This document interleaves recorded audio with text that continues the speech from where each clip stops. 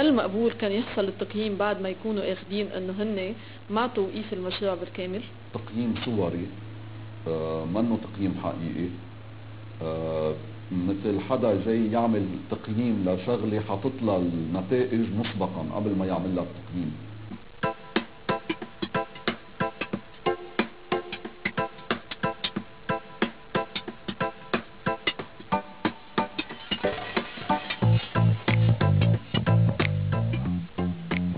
ليه يقال إنه آه إنه وزارة التربية ما قدرت تجمع 10 مدارس لحتى تفوت بهذا المشروع؟ نحن عندنا قرار بخمس مدارس بعد ما توقف المشروع تنكمل فيهم بالدمج معناتها نحن ملتزمين. فنحكي بهيدا الأمور. طيب ليه بعدين بعد ما توقف بيطلع مباشرة من قبل وزارة التربية في خمس مدارس خمس مدارس لأنه الموضوع هالقد مهم لوزارة التربية إنه نكمل الدمج ليه ما كان فيها تعمله قبل وقت ما كان في مشروع فيه مليون ونص ممول من الحكومة الإيطالية. إيه، عفوا. ما نحن نحن عم بيتنفذ المشروع من قبل وفق الاتفاقيات والمذكره بين وزارة الشؤون وال والجامعة اليسوعيه ووزارة التربية.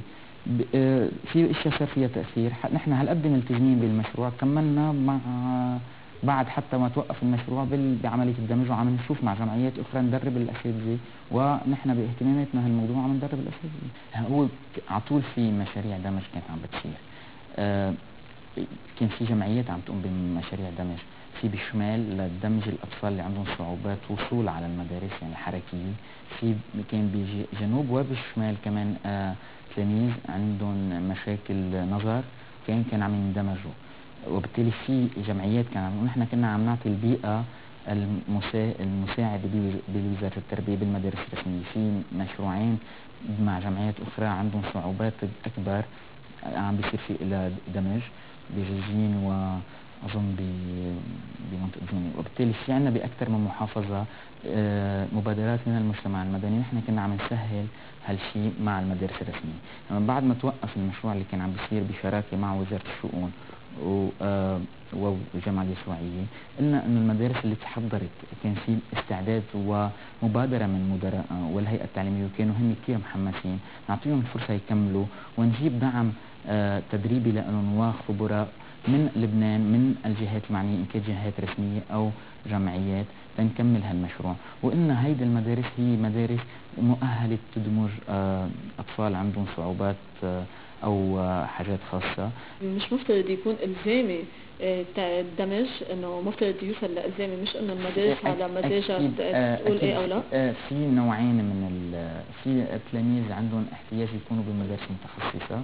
في آه، أنواع حاجة إنه يكونوا آه، بمدارس مع أقرانهم عاديين وتدريجيا بده يتوسع هالشيء يعني بده يكون في قبل ما نحط نظريا نقول المدارس دامجه بده يكون في البيئة الحاضنة لها المدارس الدامجه من ناحية الهيئة الإدارية، الهيئة التعليمية، المعدات، التجهيزات والبنى التحتية بالمدرسة. ملتزمين ومكملين بس بده وقت هالشيء وهيدي بعرف إنه من اهتمامات مع الوزير الحالي الدكتور دياب إنه نكمل بعملية الاهتمام بذوي الاحتياجات الخاصة. لا إجابة أيضا. يبقى التكتم سيد الإجابات. أما حق الأطفال ذوي الاحتياجات الإضافية في عهدة السادة المسؤولين.